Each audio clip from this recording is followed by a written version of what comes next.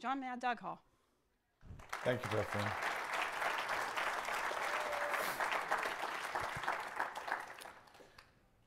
So this is the last part of 2019.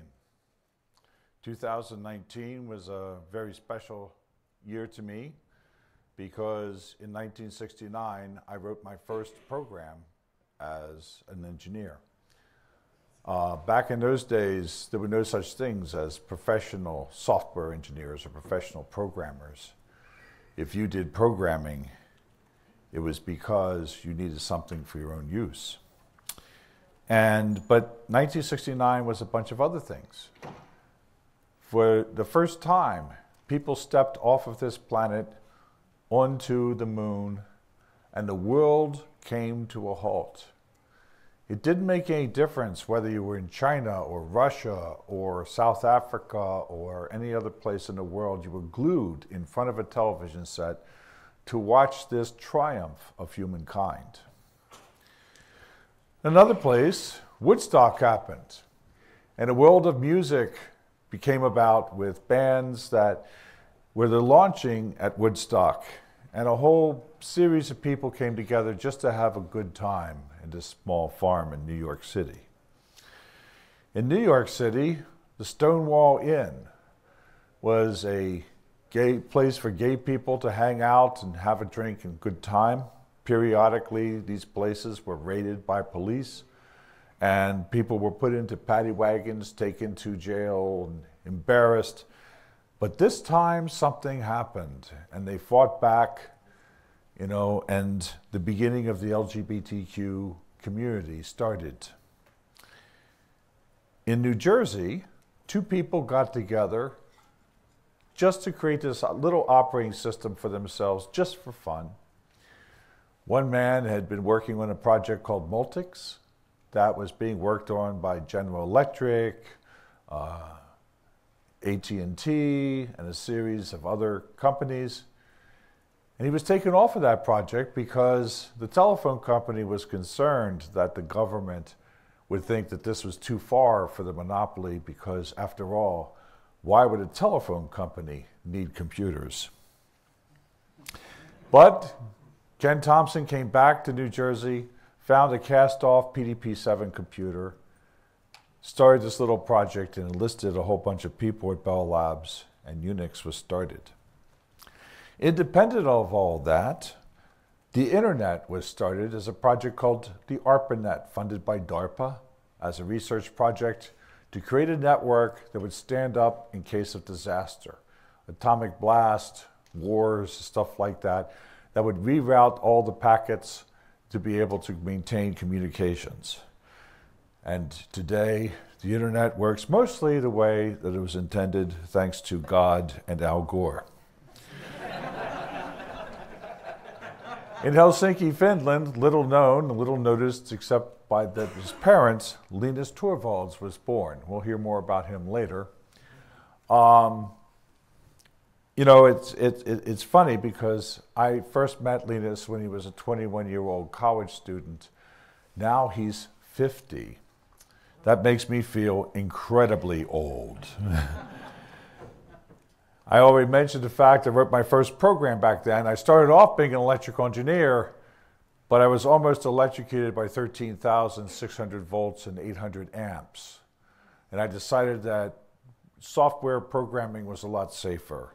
Worst thing that could happen was a paper cut from a card. And 1969 was also the last year I ever shaved.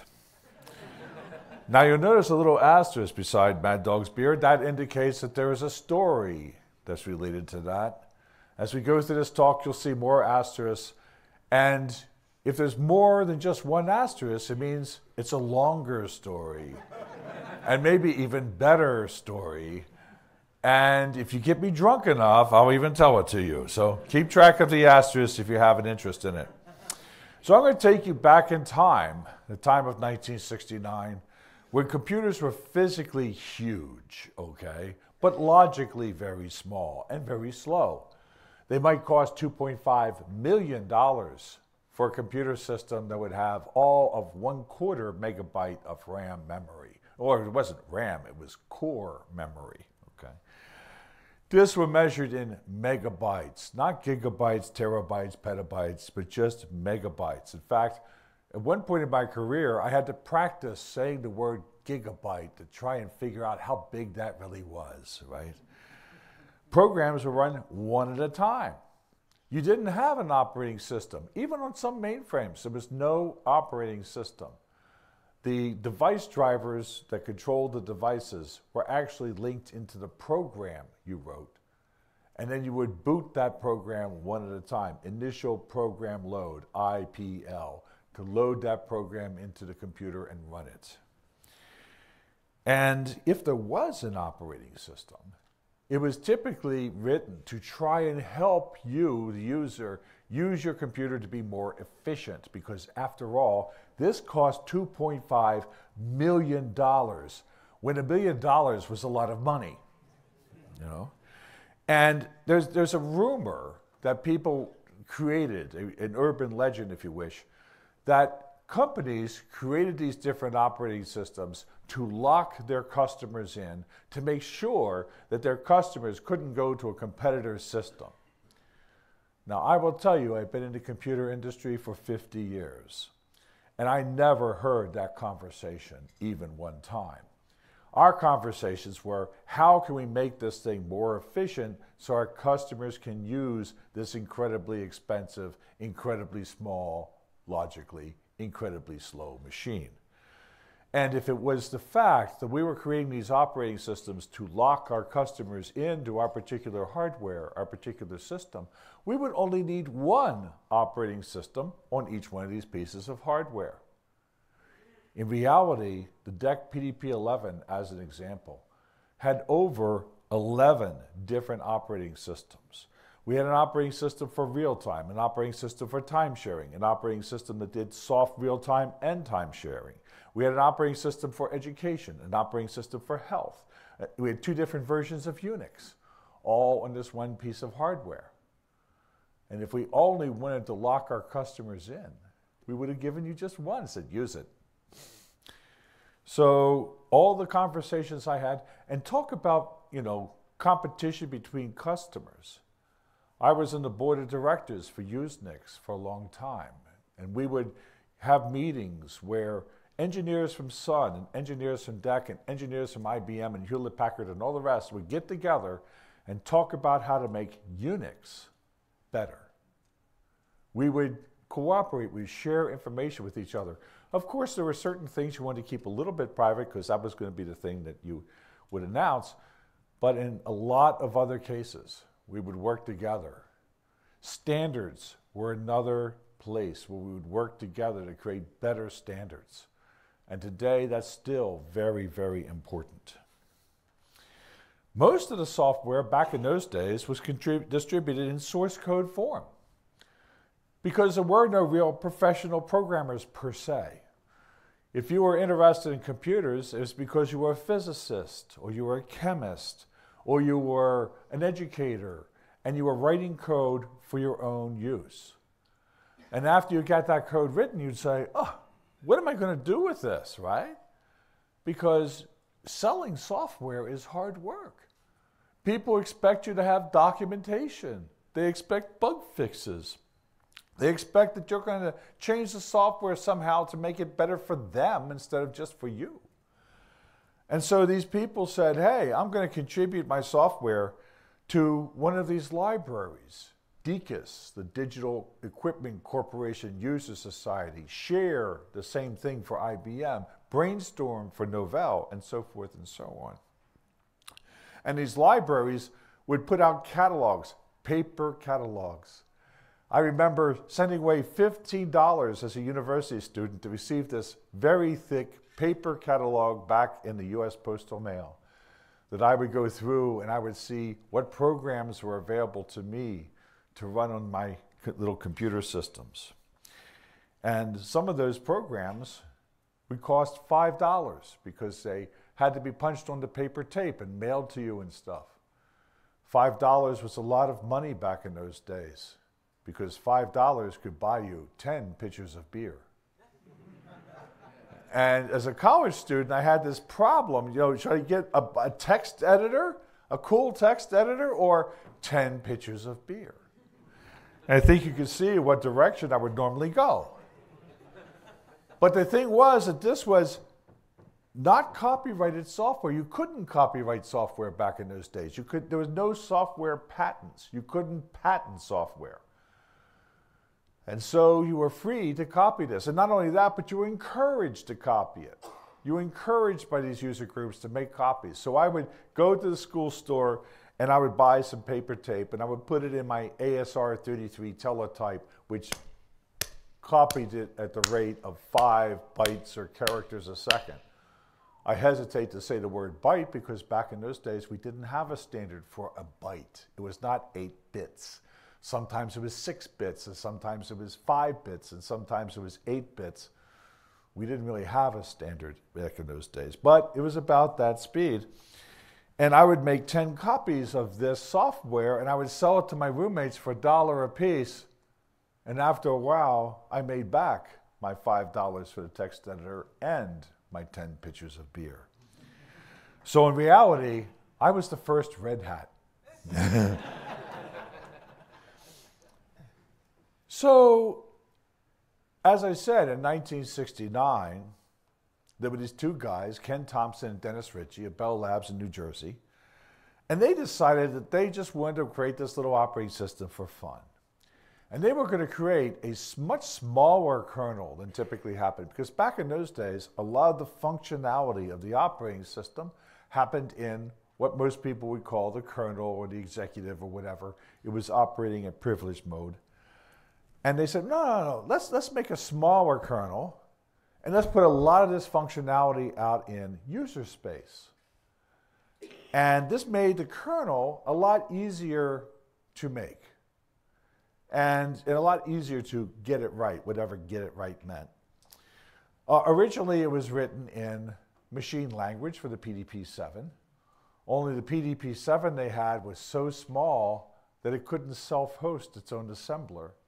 So they had to go over to another computer system with a cross assembler, write the code on that, cross assemble it, take the paper tape over to the PDP-7, try and get it to run, and of course it would crash in the first 15 seconds. And then they would use the lights and switches on the front of the PDP-7 to do the debugging of the kernel. Eventually, they got it working on the PDP-7, but the PDP-7 was so small and so slow, it ran out of steam. So they decided to move to another larger, newer system called the PDP-11, also made by Digital. But they didn't have the money for that. And their department said, hey, this is just like a research kind of fun project. We're not going to spend the $250,000 it would take to buy, a, a, or even, even more, a reasonable size PDP 11. So they went around Bell Labs looking for somebody that would fund this. And eventually they found the one department inside of Bell Labs that had to have, that seemed to have almost unlimited money money out the wazoo. Now you might think, oh, that's the engineering lab. No. Research lab? No. Facilities lab? No. It was the legal department. And Ken and Dennis convinced the legal department that they were going to create this operating system so lawyers could sit down and write their legal briefs and format it, right?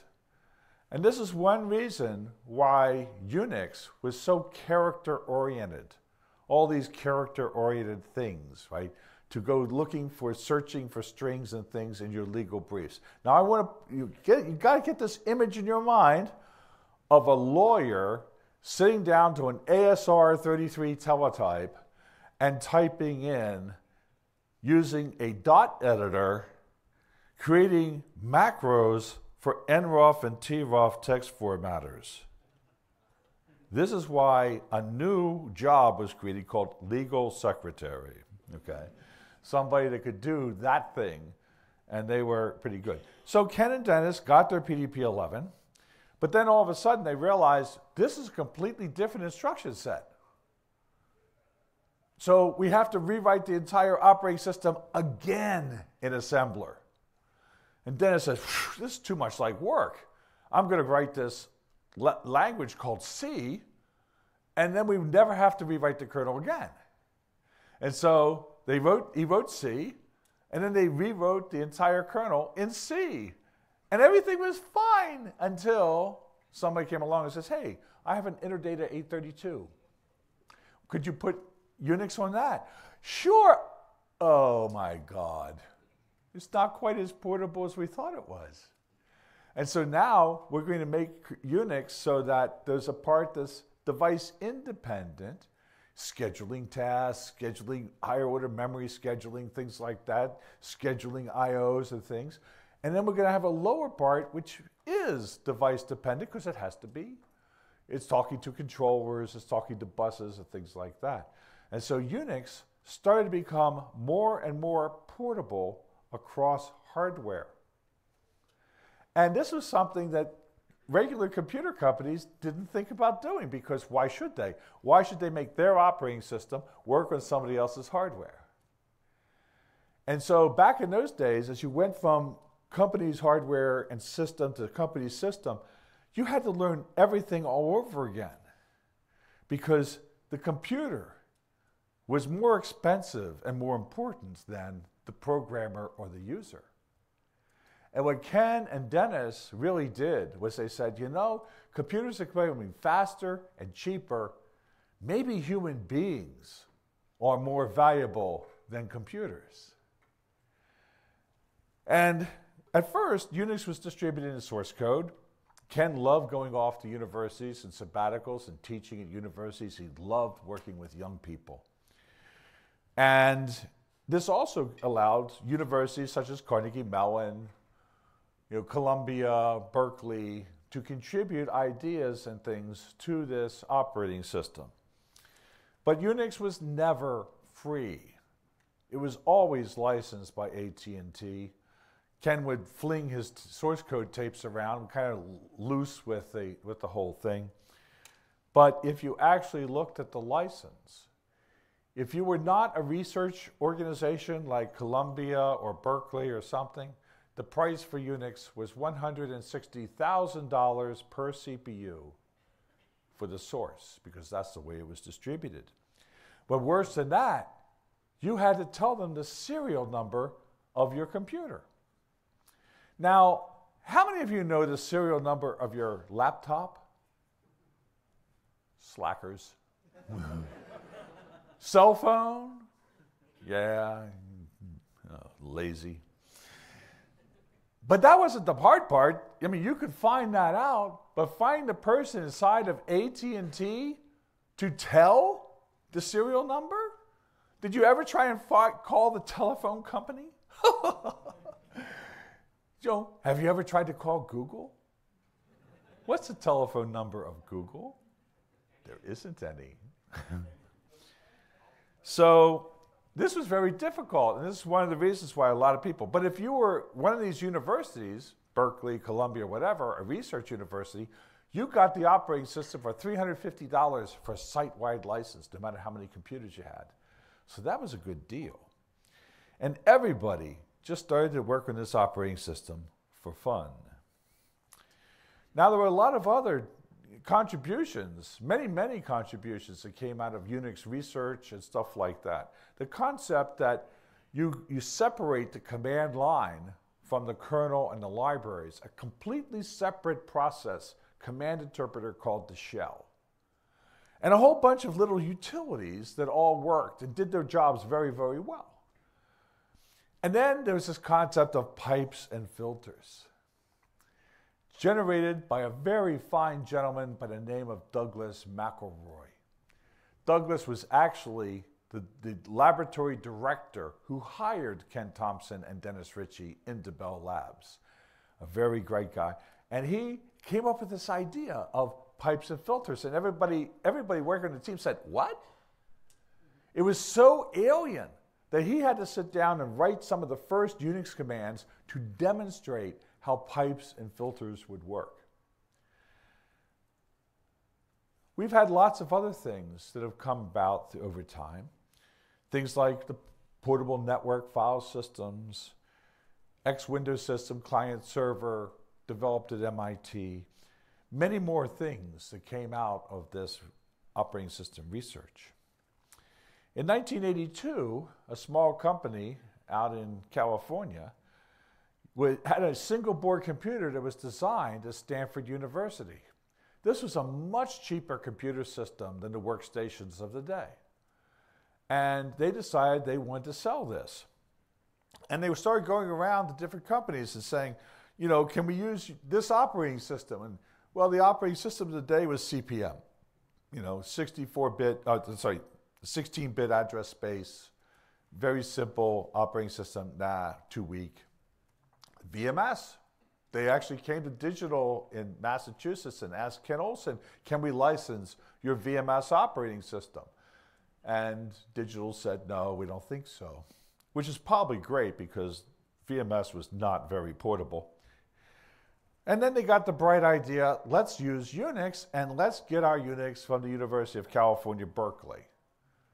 But they still had this problem because they needed this $160,000 license.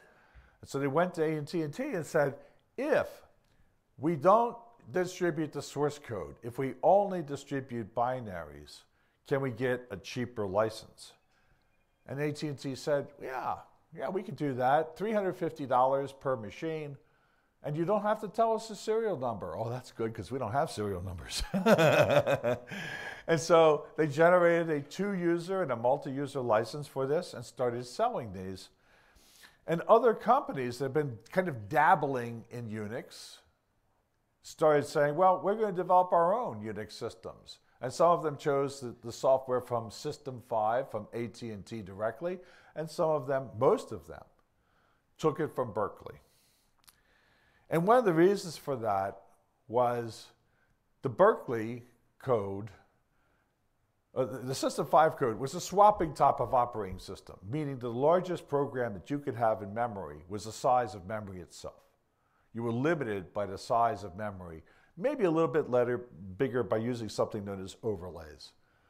But that was a limitation. But Berkeley had this thing called demand page virtual memory which meant that you could have a program as big as your address space, no matter what your physical memory size was. That was nice. But another thing was the networking. System 5 had networking called UUCP, Unix to Unix copy. And so when you wanted to send email, you had to put into your, ad, your, your, your address every single system along the way. And that system would hop the messages from system to system, dialing it up, sharing the, mess- sharing the message, closing it down, storing it to the next one. But Berkeley had implemented TCP IP, and that made a lot of difference. So most of the people went with Berkeley as a thing. Now, there was one person who was not very happy with the concept of the binary only software. And this person was Richard Stallman, who was at MIT as a student. And he was in charge of some of the systems they had. And he found out he couldn't implement this new printer driver because he didn't have the source code for the operating system. And he got so pissed off about this that he decided he was going to write an entire operating system in source code form and make it freely available to people. And he did he started the project GNU in 1983. He started to get people to join with him and believe in this project. And in 1985, he founded the Free Software Foundation to help to guide this and keep it going. Now, he could have started writing the kernel first. But that would have meant that many years later, we'd be using a 1984 kernel in 2019. And that didn't make very much sense. There wouldn't have been any applications to run on top of this kernel. It wouldn't have been very useful. So instead, he started with something that almost every developer used, a text editor, Emacs. And a lot of people say he could have stopped with Emacs because after all, it is like an entire operating system, right? schedules its own memory, schedules tasks, and everything else. But, you know, he continued on. And they developed a compiler suite the GNU compiler suite. And people started to understand something. I can use the same text editor whether I'm working on VMS or MVS or these different Unix systems. I can use the same text editor with the same finger marks. I can actually, you know, create this text editor that I own. It works the way I want to, and I just have to copy it from place to place. And the same thing with the compiler suite. That I can write the same C code with the same syntax and the same semantics on all these different operating systems. Yes, it may have different libraries I have to call, and he even created a, a set of libraries to go with that so your code could be almost the same. And this cut down not only on the complexity of your code, but also the complexity of the testing of your code. And people like Boeing started to recognize this and they started using GNU compilers, even though the GNU compilers were nowhere near as efficient as some of the commercial compilers. The VAX-C compiler, for instance, that ran on VMS could produce code that was about 30% more efficient than the GNU compiler suite in the early days. But Boeing said, well, thank you very much, DEC, but we'll just buy a faster CPU. because the cost of us having all these different compilers with different syntax and semantics is too high. And then a, a small firm called Cygnus started up and said, hey, we're going to give support to this. And so there was support for free software. And Cygnus eventually was bought by Red Hat, and as we know, Red Hat was bought by another company. And other things started coming up. People would package some of this new software in CDs. And, and a friend of mine named Jim Joyce had this little Unix bookstore out in San Francisco. And when we had our Usenix events, you would go to Jim Joyce's hotel room and he would have candles and wine and you would go through and look at all this great software and talk about the free software that came from GNU. And Prime, know, Primetime Software, Young Minds, and, and bunches of others who create uh, contributions of all this software. O'Reilly started up publishing books on Unix and uh, made it more available. Now, my own company, Digital, we decided we were going to make a Unix system. We actually had several of them, a 16-bit system called uh, Ultrix 11, and then we had a 32-bit system called Ultrix 32. I joined in 1983. Yes, I admit to be very old. and uh, it was based on BSD 4.1. And, you know, it was fairly successful, not completely successful, but it was a fairly good system. About this time, the Unix wars really intensified. And Sun Microsystems got together with AT&T and formed this organization called USL, Unix System Labs. And they would not let the other companies really join. They would say, well, we'll develop the technology and you guys can just port it to your systems. This didn't go over well with DEC, HP, IBM, and some others who in 1988 formed the Open Software Foundation. And the Open Software Foundation had a different philosophy. We're going to create a set of standard APIs, and then we're going to test your version of your operating system to see if those standard APIs are followed properly. And we're also going to create a sample implementation of this in case there's a difference between the test suite and the standard itself. The sample implementation will be the final arbiter of how that operating system is supposed to work. We based it on CMU Mach as the very basis of the kernel. That's a microkernel. But most people never used the microkernel because we couldn't get it to be efficient enough to replace a monolithic kernel. But what happened was when you passed that test suite, you then had the right to call your operating system Unix, a brand, a thing of quality. Well, in 1991, there was this tiny little company called BSDI, and they decided they were going to take the Berkeley code and distribute the binaries and the source code for only $1,000. And that was really a, a good deal. But AT&T came along, or USL, AT&T with USL, came along and said, oh no, we still have copyrighted code in that, and we're going to sue your butt. And they started this huge lawsuit against BSDI. They didn't sue the University of California, Berkeley. Well, number one, because Berkeley was not distributing it that way. But number two, it's very nasty to sue a university. And this dragged on for years and years and years and was finally settled in 1994 when a judge found that only 17 files in the BSDI distribution still had any AT&T code in it. And Berkeley said, "Oh," and they rewrote the 17 files and now there's no code.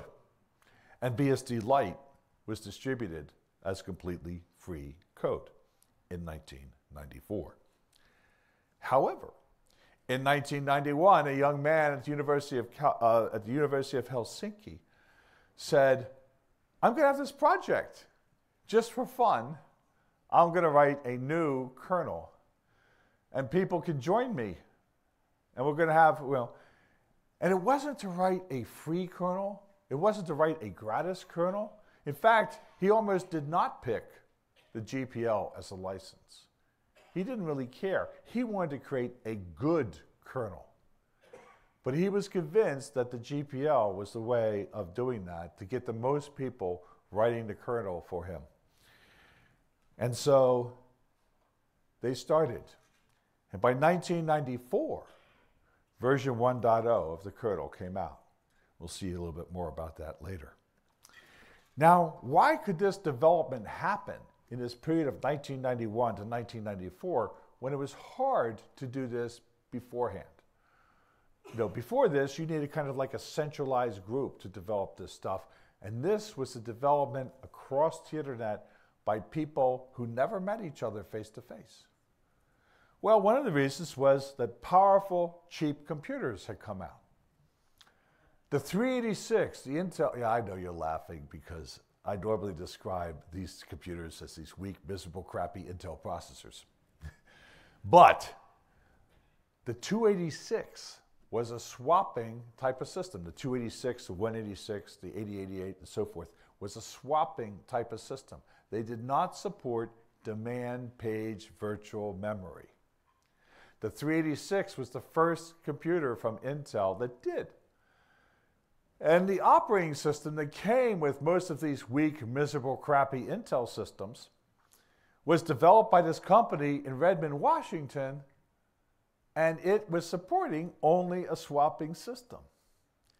And Linus didn't like this. He wanted a system that did support demand page virtual memory. He knew that Unix did this, but there was no Unix system that he could afford and would have, that was open. I mean, there was Minix, but he didn't like Minix. And Minix was still going underneath of some maturations of proprietary stuff back in those days. So he decided he was going to start this new thing, supporting demand page virtual memory.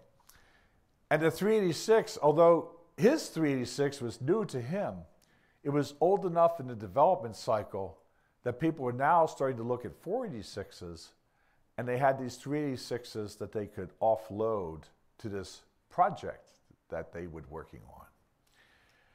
Faster internet was coming to the house. It wasn't just your university, it wasn't just your uh, business, it was coming into your house so you could go home at night and work on this as a project. There was a lot of information online and white papers and things like that. There was Minix you could look at. You could look at all this stuff and get ideas of how to build this kernel. And the World Wide Web was maturing, and they found out that they could use this for more than just pornography. so in 1994, 10 years after George Orwell's 1984, version 1.0 of the Linux kernel was released. Now, for people who not, are not used to releasing software, before your software is really useful to the general public, you say, oh, it's 0.5 release 0.5, 0.7, 0.9, 0.99, 0.999, 0.99999. Linux was somewhere in that when in 1994 Linus finally said, okay, it's 1.0. And all of these different little vendors, like Soft Landing Systems and Yggdrasil, and a fledgling Red Hat, and a fledgling Debian, decided to come out with distributions using the GNU software, MIT software, Berkeley software, putting it together in a package and making it available. And O'Reilly, who had stopped publishing books on Unix because he had started publishing books on Windows NT. He said, Unix is dying. I'm going to do stuff on Windows NT, how to program Windows NT, how to use Windows NT. I don't blame Tim for this because he had people working for him that depended on him, depended on his publishing house. But when Linux came out, he said, wow, this is what I'm going to put my, my thrust behind. And so he started publishing books on Linux. A lot of the system vendors had given up on Unix on the desktop. They had given that over to Microsoft a long time before, and Microsoft was bringing out Windows NT, challenging them in the server space, and they didn't like that. And then all of a sudden, this little operating system popped out of nowhere called Linux or GNU Linux. I don't want to be insulting. In May of 1994, that we were having one of these DECUS events. I was working for DEC, a user event DECUS. It was going to be down in New Orleans. Now, as you know, there are two adult Disneylands in the United States. One of them is Las Vegas, and the other is New Orleans, particularly the French Quarter you can get anything you want in the French Quarter and a lot of things you don't want. and I happen to love the French Quarter. And a friend of mine kept sending messages out to these little companies and saying, hey, we'd like to bring this guy from Europe to DECUS in the French Quarter, and could you help us with the money for the trip? And they would write back and say, we're just a small company, we don't have much money, but we'd be happy to send you some CDs. And I'd never heard of this person. I'd never heard of this thing that this guy was talking about. But I went to my boss and I said, you know, I don't know who this guy is, and I don't know what he did, but oftentimes Kurt, Kurt uh, has good ideas, and I think we should support this. So my boss went to their bosses and said, We don't know who this guy is. We don't know what he did. We don't even know who Kurt is. But Mad Dog sometimes has good ideas, and I think we should support this. So we got $5,000, bought this guy an airline ticket, and then Kurt said the unthinkable to me. I need to have an Intel PC to run this software on. And I said, Kurt, we make VAX systems. We make MIPS systems. We make alpha systems. We don't make those weak, miserable, crappy Intel PCs. That's something that the PC division of digital makes, and I don't even talk to them. That's a toy system. I need it. Okay, I'll rent you one. So I flew down to New Orleans. There was Kurt trying to put this software onto this machine and having a horrible time. And along came this nice young man with sandy brown hair, wire rimmed glasses, wearing sandals and wool socks, and said, Can I help you? And Kurt looks at him and smiles and says, Yes, I think you can. And about 10 minutes later, Linux was working on that PC. That was the first time that Linus had ever installed Linux from a CD. Because the way that Linus installed Linux was he had a spare disk that had everything except the kernel on it. And then he would build the kernel and put it on a disk and then boot that disk. And that's the way he installed it. He also couldn't do backups. The way he backed things up was let everybody else copy the kernel tree from him. but uh, I looked at this and I said, this is really great. How many of you play a keyboard instrument of some type, particularly a piano? If you tune a piano, you can usually typically get pretty good sound out of it. But if you play a really great piano, like a Yamaha or something like that, the keys are all even, they're all perfectly weighted, and your fingers just fly over it. It is a beautiful thing to play. Now, I'd worked on a lot of different Unix systems by that point Digital Ultrix, Digital Unix, Solaris, Xenix, SCO Unix, whatever. I sat down to that system. It was like playing a Yamaha. And it was just beautiful. If you thought of it as Berkeley, it was Berkeley. If you thought of it as System 5, it was System 5. And this machine was responsive. And I said, and I pardon you if you're offended by this, I said, holy shit. and so I went to listen to some of Linus's talks. He gave two talks. And each talk, now remember, there's 19,000 people at this DECUS conference, 19,000 digital customers. Only 40 people came to each one of Linus's talks because nobody had heard of Linux from DEC. And poor Linus, he was sweating. Sweat was pouring off of his forehead, pouring off his, he was terrified of speaking in front of these 40 people. And I went and listened to it, and I understood what this was. And I took him out on the Natchez, the last steam driven power boat going up and down the Mississippi River. And we were drinking these wonderful drinks on the bow of the boat. Their drinks were called hurricanes. And that's because if you drink a couple of them, you feel like, feel like you've been hit by a tropical depression, Katrina, right? And we're up there, we're going down, we've had a nice dinner, we're listening to Steam Calliope and stuff like that. And I said, Linus, have you ever thought about porting Linux to a 64 bit computer and a RISC processor to get the Intelisms out of the software? Now, for those of you who don't do a lot of programming, what is an Intelism? It's utilizing the hardware of the system to have a shortcut or as an accelerator. And that's wonderful, except it also makes your software less portable.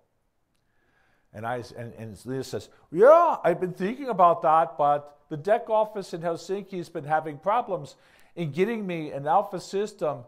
And so I may have to do the IBM PowerPC instead. And I dropped my hurricane. And I never drop a drink, ever, ever, ever. And I said, Don't do anything, don't do anything rash. And I went running back to digital the next day, got to my office, and I called up a friend of mine named Jim Jackson. Jim Jackson was in charge of alpha seed units because we'd just come out with the alpha. It was still rare. Some of our engineers didn't have an alpha system of their own. They had to do this by being in a, in a lab with earphones working on the alpha. We had these seed units we were sending out to developers to get their code ported over to digital Unix. And also remember, these systems were not $400 systems or even $1,000 systems. This was a $30,000 system. And I said, Jim, you don't know who this guy is. You don't know what he did, but I need to have this system sent to Helsinki, Finland right away. I mean, right away. Now, people will tell you and Amber gave a, a, great talk today, you know, about community and stuff. And she said, and I'll paraphrase this it's often easier to ask forgiveness than permission. And so people will tell you that the way you get things done in a big company is you write a proposal, you send that to your management, management looks at it, says what is the cost of everything, what's the benefits, pass it up their line, nothing ever gets done. That's not how you get things done. You call in favors. and by that time, I've been working for Linux, I've been working with uh, DEC for 16 years, and there was a lot of people who owed me favors. and I started pulling them in and Jim Jackson was one of them. I said, Jim, I need to have this unit sent. It just so happens he had one underneath his desk. It had just come back, and so he sent it to Helsinki, Finland. Remember, it's $30,000. He said, What are you going to pay for? I said, I'll pay for the shipping. and we sent it. And, that, and it was being sent without this very interesting thing called a loan of products form, which was going to say to Linus Torvalds, protect this system. We want to have it back someday, stuff like that. We did. We sent that system towards him without that form being filled out. In June of that year, he came to Boston to a Unix conference. I put the, the loan of products form to him. He was eating a hot dog with one hand and signing it with the other and saying, Do I ever have to send this system back?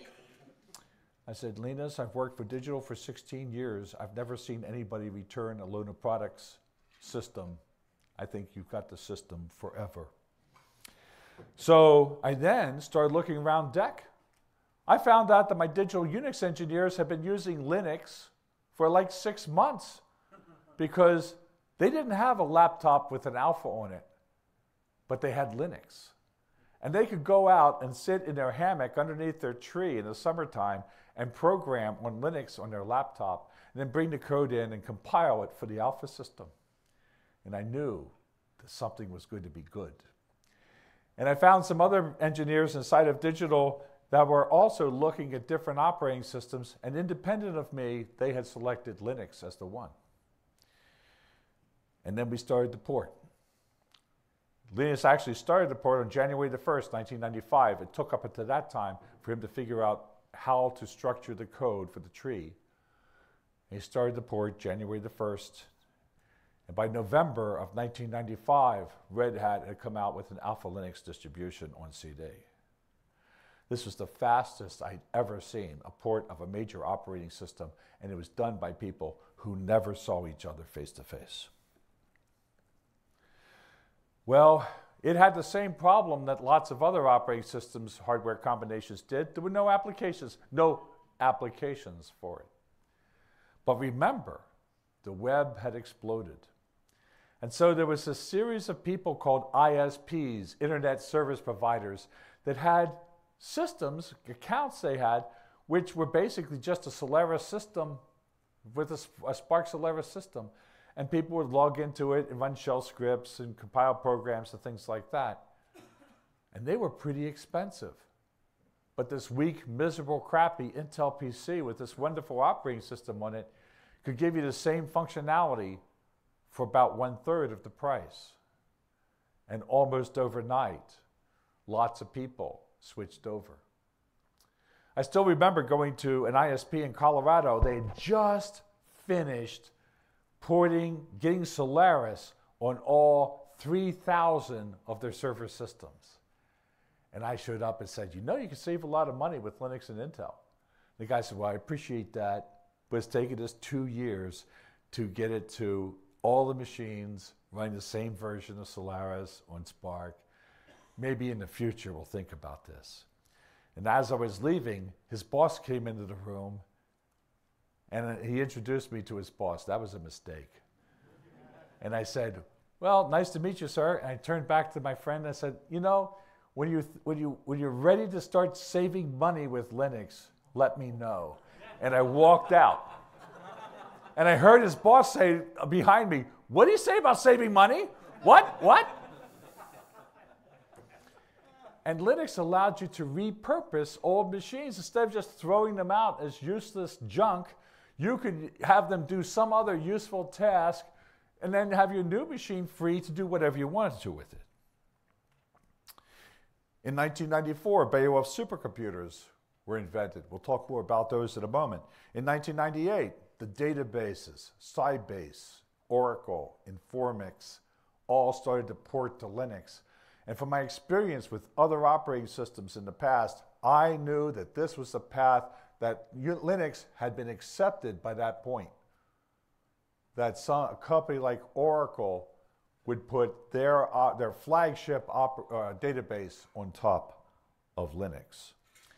In the year 2000, embedded systems sprung up, and almost overnight, Linux became the most used operating system in embedded system designs. Why?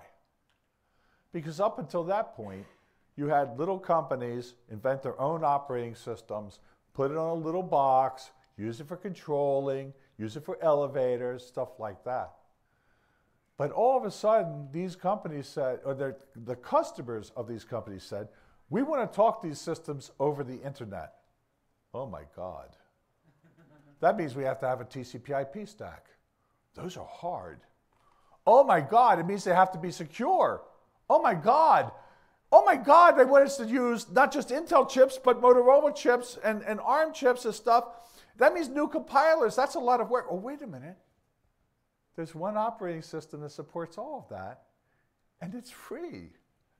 And so almost overnight, they started, you know, they still had their proprietary systems, but they started using Linux for a lot of new things. Now, as I said, in 1994, we had this little problem. Companies like ECL and Cray were going out of business.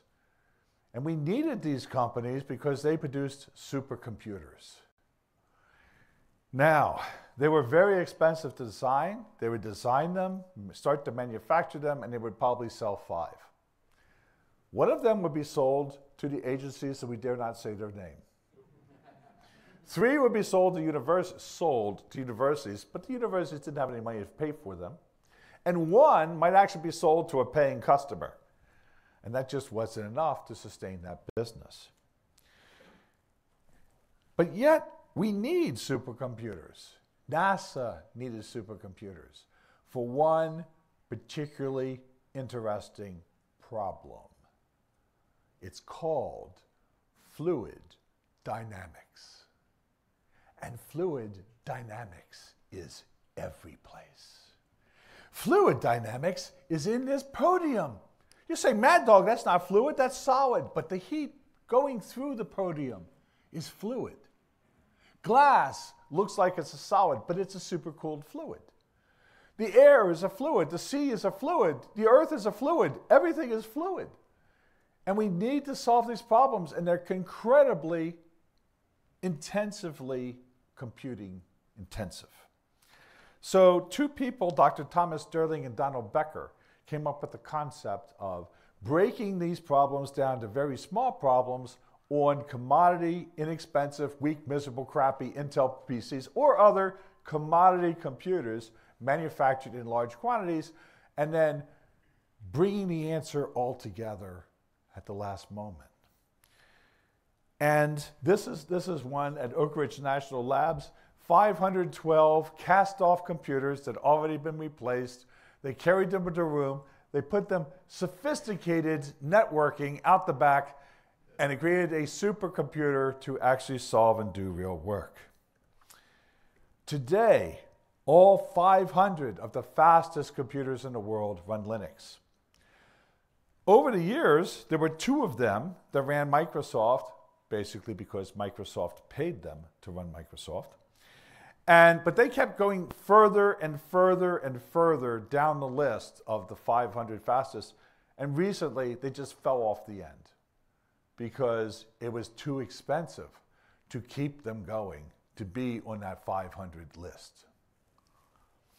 Also interesting, that prize, the Gordon Bell Prize. Gordon Bell was one of the designers of RSX, the PDP-11, VAX, and VMS. He went to work for Microsoft in their supercomputing research department, and the High Performance Computing Organization named a prize for performance and price performance after Gordon Bell. Microsoft has yet to win that. and I call up Gordon every once in a while and say, Gordon, how's it feel to have a prize named after you, but your company has never won it? He says, ah, he's just, I don't care. he had his money. But now it's been a number of years, and every year we talk about the Unix or Linux desktop. And We've never quite gotten there. You know, at first there was a standard, and I'm sure you've recognized it, or maybe your parents have done it, where they have this notebook and they write down every single thing that they're supposed to type into the system to do it. And that's because they had this one interface called Microsoft Windows on the desktop. And, you know, that's the way they worked. They didn't learn what those things did, they only learned this is what I'm supposed to type to get it to do it. And so another system coming along, they didn't want to learn it. Right? It's too hard for them. There's also a lack of games. Now, one of and, and this is a big reason for people not using uh, Linux. I mean, I, I find this hard to believe because I'm not a gamer. I'm not. And for people to say to me, I'm not going to use Linux on my desktop because I need a game, it's, it's hard for me to understand, but that's okay. The issue with games is that Linux has about, or back in the early days, 3% of the desktop. Apple had 7% of the desktop, Microsoft had 90% of the desktop. And so if you're a game developer, you want to develop your games to the largest market, particularly because of another factor. Brazil pirates 84% of their software. China used to pirate 96% of their software, but the World Trade Organization got them down to only 84%. Vietnam pirates 99% of their software. That's bad enough. But when you go into gaming, in gaming, 99% of the software is pirated. Somebody buys one copy of it and all their friends say, let me copy it, let me copy it, let me copy it, right? That's a terrible thing. And if you now mark that 1% of the people actually pay for their games, and you apply that to 3% of the desktop, that's a very small number of games you're going to sell for, for going over cross. Of course, the gaming community does things like create game consoles, which brings in more money, and you, you can't really pirate a game console. It is because of computer games that we have copyright on software back in the day where the game was put into the ROM, competitors would just simply copy the ROM and create their own version of the game. And that's where software copyright was first applied. The other reason why people don't use Linux is because they say, hey, I only need five applications. Well, the first application might be an office suite. That's easy, LibreOffice. Another application would be you know, a database. Well, there's a whole bunch of those. But then you get out there to the fifth application, and that's a little harder to find. But hey, it exists on Windows, so that's what I'm going to use. Now, things have changed because of one important thing the World Wide Web and the number of browsers that came out with different scroll bars, different buttons pushings and stuff, different ways of looking at it. And you could no longer just write down in your notebook what to push and what to prod to get your work done. You actually had to learn what these things do. And it broke that interface of Microsoft. Microsoft lost control of that. And now we have Android on the desktop, we have Apple on the desktop, and we have lots of other things.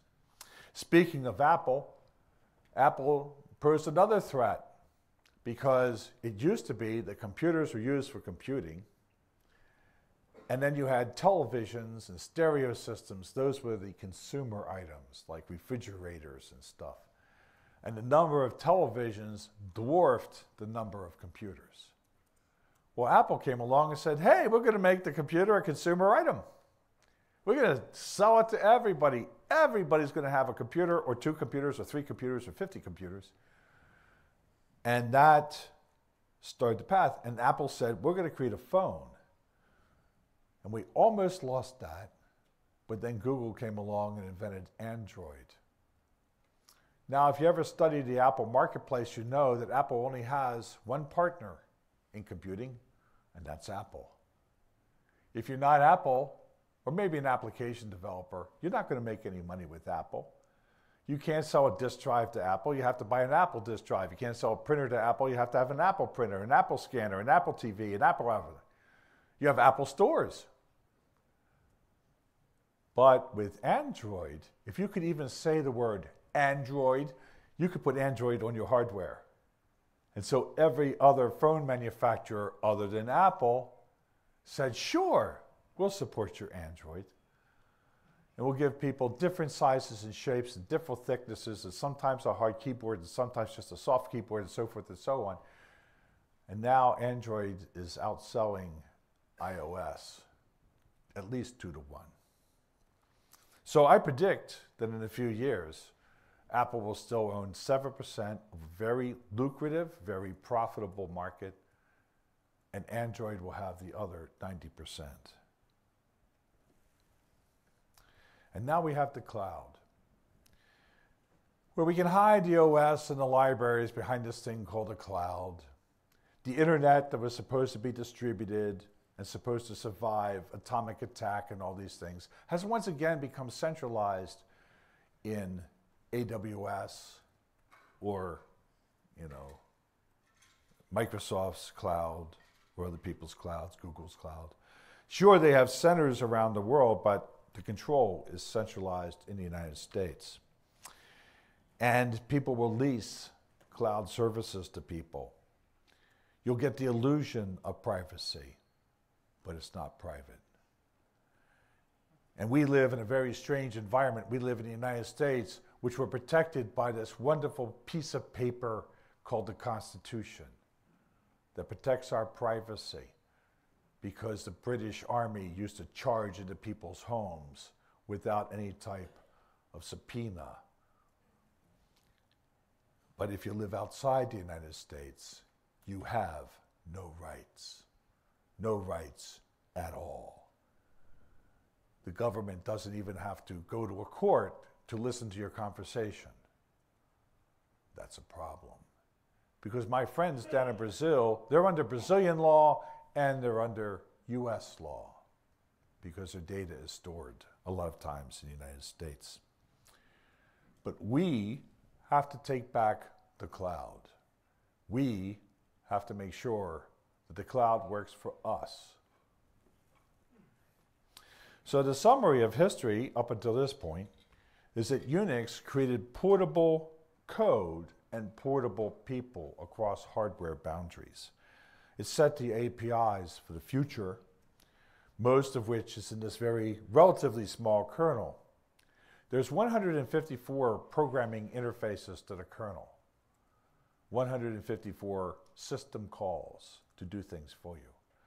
There's over 10,000 library calls, which is where the real functionality happens. GNU Linux rewrote this, reignited this, and gave back a lot of the control of the hardware to you. Not completely. There's still a lot of binary blobs out there in firmware for devices that could hold malware in them. The BIOS is a freaking mess and holds all sorts of really horrible stuff. We need to fix that. We need to spread the concept of free and open source software and hardware and culture. We need to be able to, to teach people how to use Creative Commons, what the goodness is of it, business plans around that. When I first started working with Linux, my managers at DEC questioned my sanity.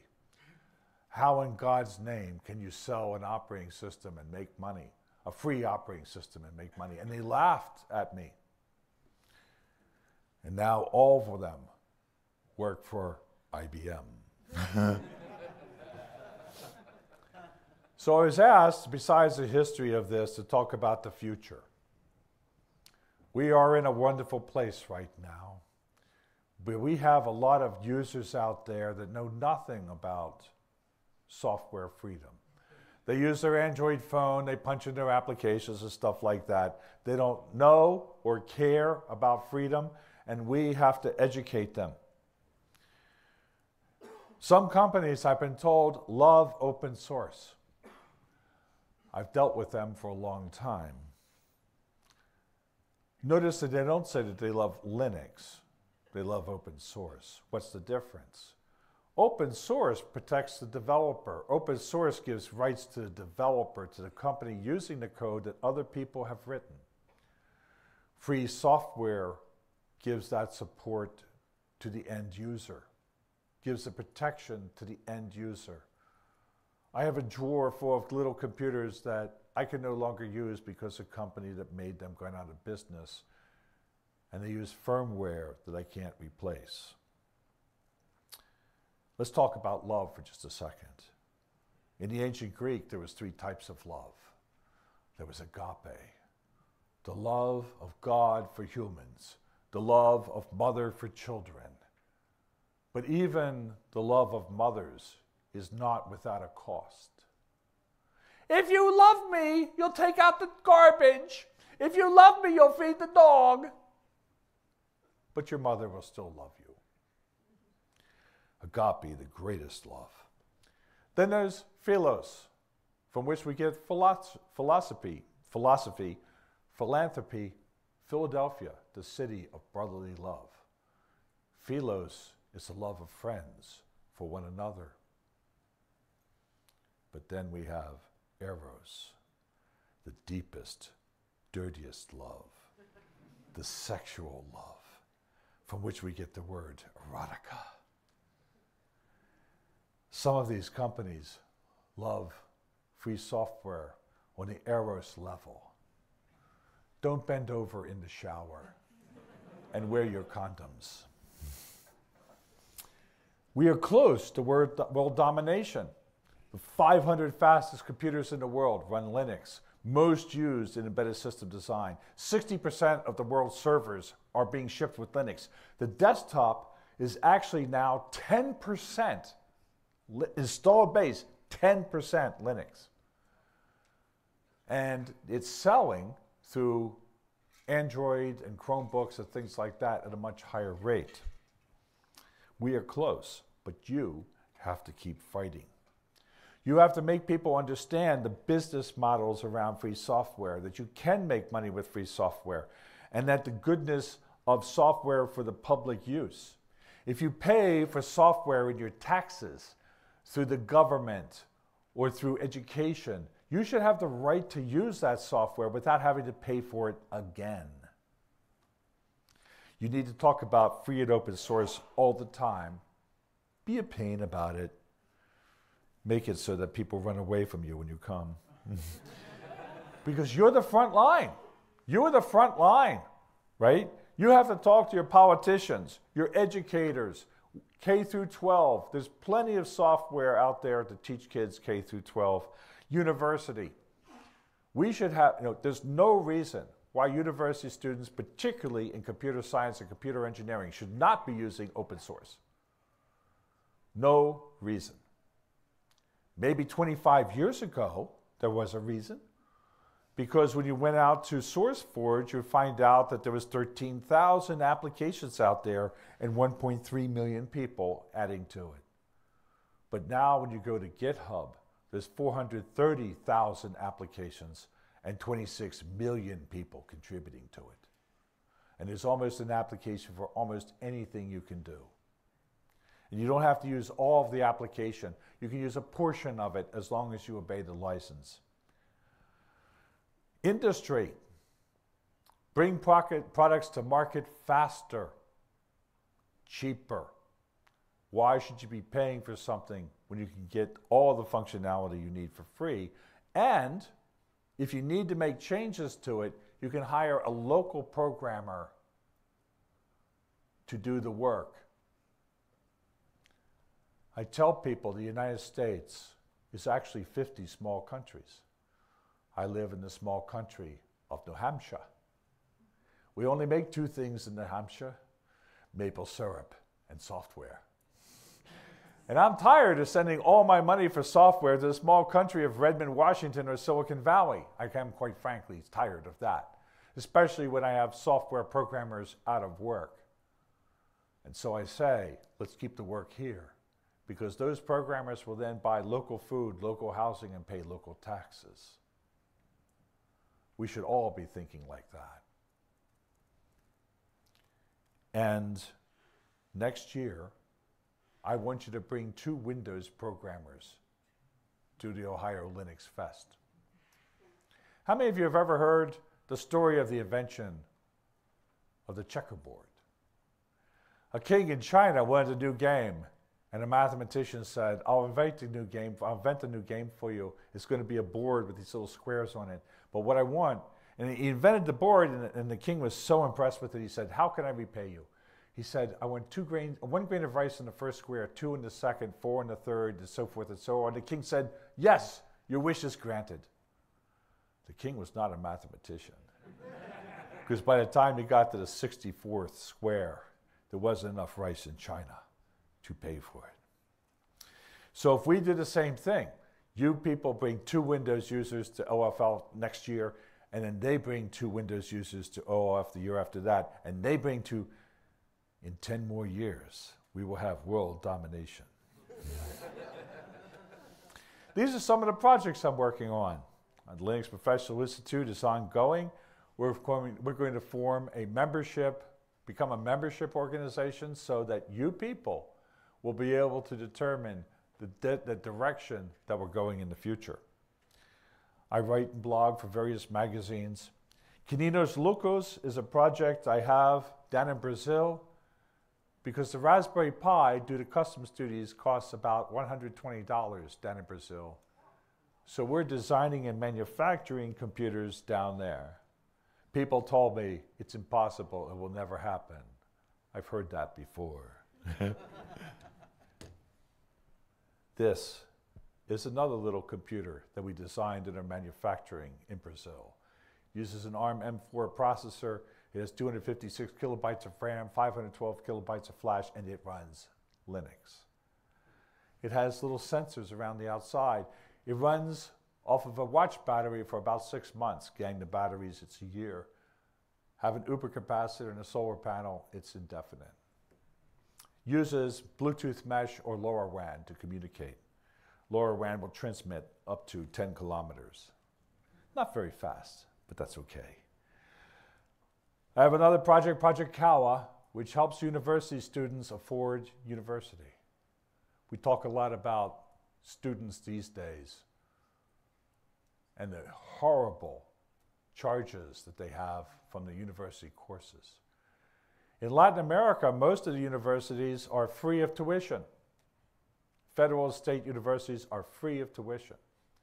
But 40% of the students who qualify to go still cannot afford it because their families are too poor to afford the, house, the apartment, the transportation, the computers, the internet, and so forth. So Project Cauã teaches these students how to use the technical skills they already have to set up their own business. We create a contract, a skeleton contract for them, skeleton advertising materials. We teach them how to sell. We approach businesses. And what we do is we align the students with six businesses. And the students give them four hours a week, every week, to do things on their systems. Look at the error logs, see if their disk is about to fill up, make sure their Wi Fi is secure, apply patches to the, find new software for them to use.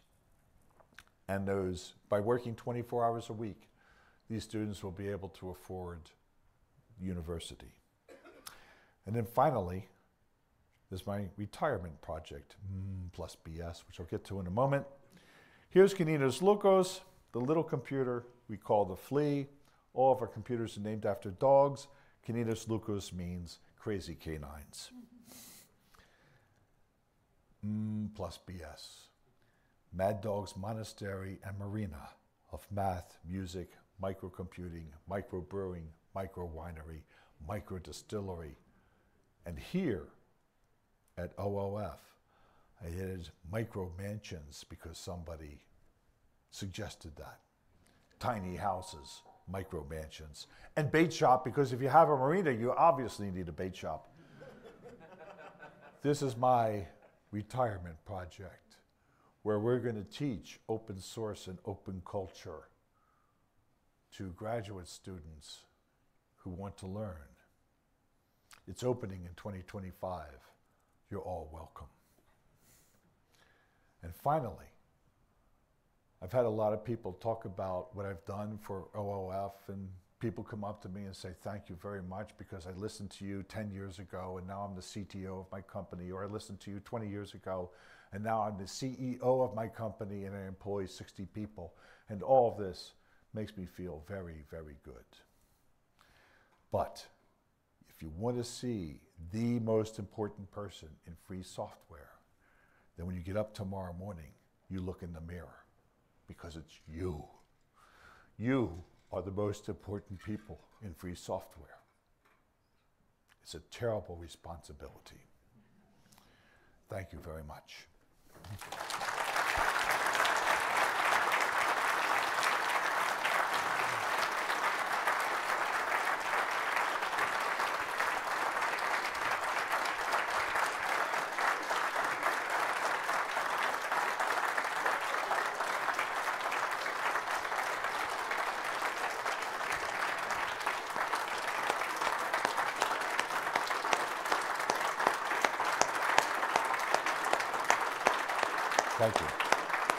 Please.